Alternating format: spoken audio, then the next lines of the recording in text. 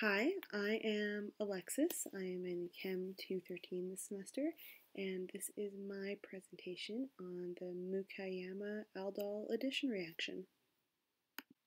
So, this reaction was discovered in 1973 by Teruyuki Mukaiyama, and it is an addition reaction, which means it is a carbon-carbon bond formation, and the reactants in this case are silicone enolates, um, which can either be a silyl enol ether derived from ketone, or it can be a ketene silyl acetal, which is derived from an ester. And this is reacted with an aldehyde in the presence of a Lewis acid to create an aldol adduct, which is a hydroxy ketone or an aldehyde. What makes this reaction significant in organic chemistry is that it can proceed under acidic conditions, yet still avoid the competitive side pathways that usually occur in these acidic conditions, such as dehydration, dimerization, polymerization, and self-condensation. Another exciting thing about this reaction is since 1973, there has been a lot of work into progressing this reaction, and there are a lot of ways to get specific stereochemistry that is needed for the products desired. So for the mechanism of our reaction, as promised, we have our aldehyde, which is an oxygen double bonded to a central carbon with an R group and a hydrogen. Um, and this is mixed with our Lewis acid, which in this case is TiCl4, and I've already gone ahead and separated the Cl and Cl3 from each other. Um, so all that happens in this step is the lone pair on the oxygen takes the positive charge from the TiCl3. And yeah. So now moving on to the next step of this mechanism. Um, as you can see, this one looks a little bit more complicated. As before, we do have our aldehyde bonded with our Lewis acid um, that we did in the previous step, and now the oxygen has a positive charge. Um, and yeah, same molecule as before. This here, we have our silicone enolate, and it is oxygen bonded to a silicone molecule, a central carbon with a double bond to another carbon, and a single bond to an R group.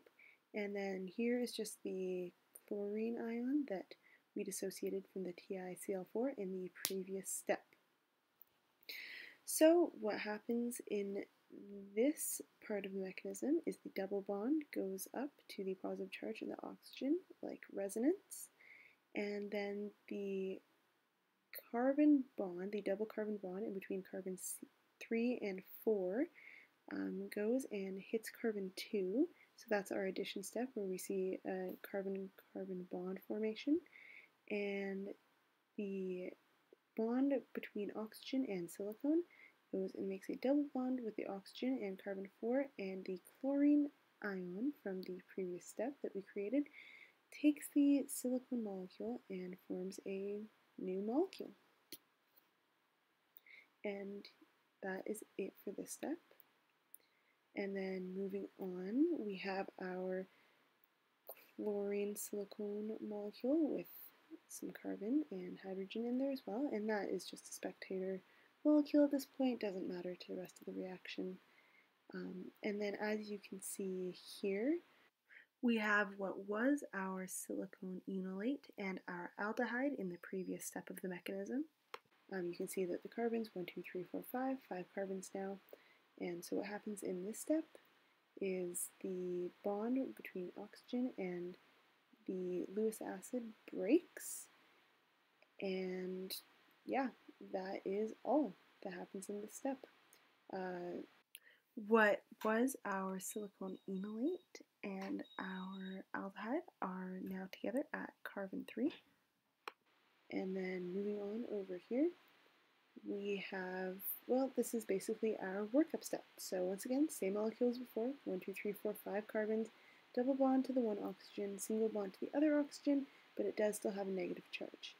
Um, so resonance could happen here, but in this case, what happens is the negative charge on the oxygen attacks the positive charge from the hydrogen, and then the TiCl3 is just left over from the previous step, not important to this part of the mechanism.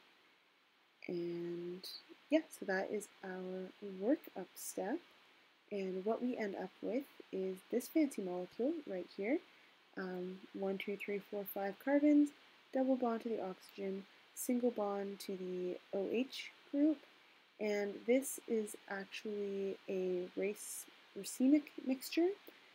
Um, so yeah, you get a pair of enantiomers with this reaction.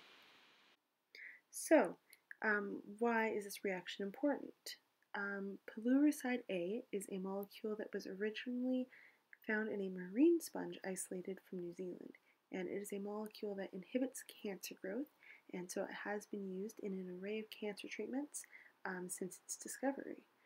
Um, the Mukaiyama-Aldol reaction allows us to um, be stereoselective with the molecules we produce, which is very important when creating this molecule in a laboratory setting um, because the molecule only has its cancer treating function with certain stereochemistry. Um, and treating cancer is a very significant part of our society. I'm sure we all know somebody who has either had cancer or it has affected us in some way, so that is what makes this reaction so important. And here are the references that I use while doing my research. And yeah, that is all. Thank you for listening to my presentation. Thank you for such a great semester.